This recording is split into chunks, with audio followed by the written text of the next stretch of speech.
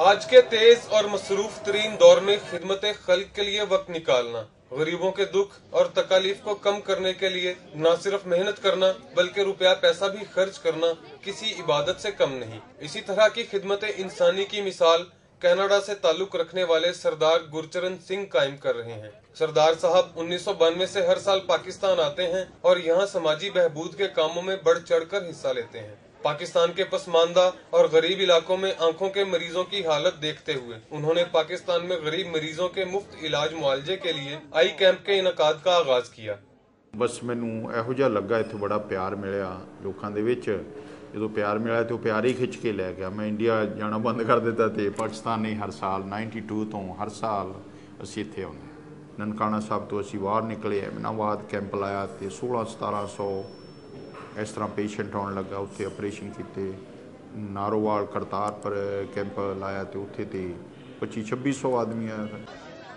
In medical کیمپوں میں آنے والے مریضوں کو دوا، اینک، کھانا، رہائش اور آپریشن غرض یہ کہ ہر طرح کی طبی امداد مفت فراہم کی جاتی ہے۔ اب تک سینکڑوں غریب اور نادار لوگ ان کیمپوں سے اپنی آنکھوں کا علاج کروا کر زندگی کو بھرپور طریقے سے گزارنے کے قابل ہو چکے ہیں۔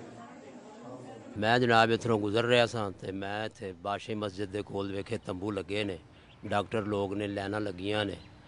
ਤੇ ਮੈਂ ਪੁੱਛਿਆ ਉਹਨਾਂ ਨੂੰ ਇੱਥੇ ਕੀ ਹੈ ਤੇ ਉਹ ਕਹਿਣ ਲੱਗੇ ਜੀ ਇੱਥੇ ਅੱਖ ਬਣਦੀ ਹੈ। ਤੇ ਉਹ ਮੈਂ ਵੀ ਹਿੱਸਾ ਲੈ ਲਿਆ ਉਹਨਾਂ 'ਚ ਤੇ ਮੈਂ ਉੱਥੇ ਪਰਚੀ ਮੇਰੀ ਬਣੀ ਹੈ। ਪਰਚੀ ਬਣਨ ਤੋਂ ਬਾਅਦ ਮੇਰਾ ਉਹਨਾਂ ਨੇ ਅੰਦਰ ਮੈਨੂੰ ਉਹਨਾਂ ਬੁਲਾਇਆ, ਪਰਚੀ ਟੈਸਟ ਕੀਤੀ ਹੈ, ਅੱਖ 'ਚ ਦਾਰੂ ਪਾਇਆ سردار گرچرن سنگھ کا کہنا ہے کہ ان میڈیکل کیمپوں کے انعقاد سے ان کو پاکستان اور یہاں کے لوگوں کو قریب سے دیکھنے اور جاننے کا موقع ملا۔ عام لوگوں میں گھل مل کر ان کو پتا چلا کہ یہاں بسنے والے لوگ انتہائی ملنسار، امن پسند اور مہمان نواز ہیں۔ ਇਸ ਸਾਲ ਆ ਕੇ ਮੈਨੂੰ ਬੜੀਆਂ ਹੀ ਪ੍ਰੋਬਲਮਾਂ ਆਈਆਂ ਨੇ ਸਪੈਸ਼ਲੀ ਡਾਕਟਰਾਂ ਦੇ ਨਾਲ ਕਿ ਚਲੋ ਉਹਨਾਂ ਦੇ ਪੱਤੇ ਵੱਧ ਗਏ ਨੇ ਮੈਨੂੰ ਤਾਂ ਪਰ ਮੈਨੂੰ ਕੋਈ ਚੰਗਾ ਡਾਕਟਰ ਹੀ ਨਹੀਂ ਮਿਲਿਆ। ਮੈਨੂੰ ਬੜਾ ਦੁੱਖ ਹੁੰਦਾ ਜਦੋਂ ਕਿ ਇਹ ਡਾਕਟਰ ਆ ਕੇ ਇੱਕ ਪੇਸ਼ੈਂਟ ਦੇ ਨਾਲ ਕਿਵੇਂ ਇਹ ਡੀਲ ਕਰਦੇ ਆ।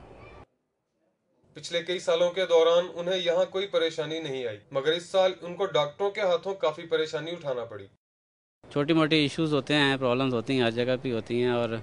It was not my duty to day to come here in fact I am not appointed as a member of the team لیکن کافی ایشوز تھے جس کے لیے میں آج آیا ہوں ان سے ملوں گا بات کروں گا کہ کیسے ہم اگلے دو دنوں کو بہتر کر سکتے ہیں۔ سردار گرچرن سنگھ پاکستان کے ساتھ دلی لگاؤ رکھتے ہیں اور یہاں غربا کی مدد کے لیے مزید منصوبے شروع کرنا چاہتے ہیں۔ اس مرتبہ کچھ لوگوں کے رویے کی بنا پر نہ صرف شدید دل برداشتہ ہیں بلکہ اس کا گلا بھی کرتے نظر آتے ہیں۔ سردار گرچرن سنگھ مدر ٹریسا اور عبد الستار ایدھی جیسے عظیم لوگوں کی روایت کو زندہ رکھے ہوئے ہیں۔ ایسے لوگوں کی دل آزاری سے بچنے کے لیے ہمیں اپنے رویوں میں تبدیلی لانی ہوگی، تاکہ معاشرے سے مفاد پرستی کا خاتمہ ہو سکے۔